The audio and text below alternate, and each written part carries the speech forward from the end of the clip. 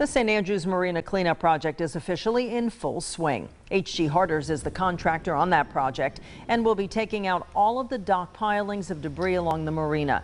They are currently working on the shoreline on Bayview Avenue, which is limiting parking space and has temporarily made the road a one-way street. The boat ramp will remain open for a majority of the project, but will be closed for a few days throughout the course of it to allow for debris removal. The marina store will still be open for fuel sales only. Panama City officials are excited to see this project finally moving forward. This was a big amenity for our community prior to the storm. Uh, we had a waiting list of vessels in order to get get to this marina and be a tenant here, and just to restore that and offer our boating public the ability to, to store their boats and launch from here, and, and just to bring this back from uh, from where it was to what it was and even better.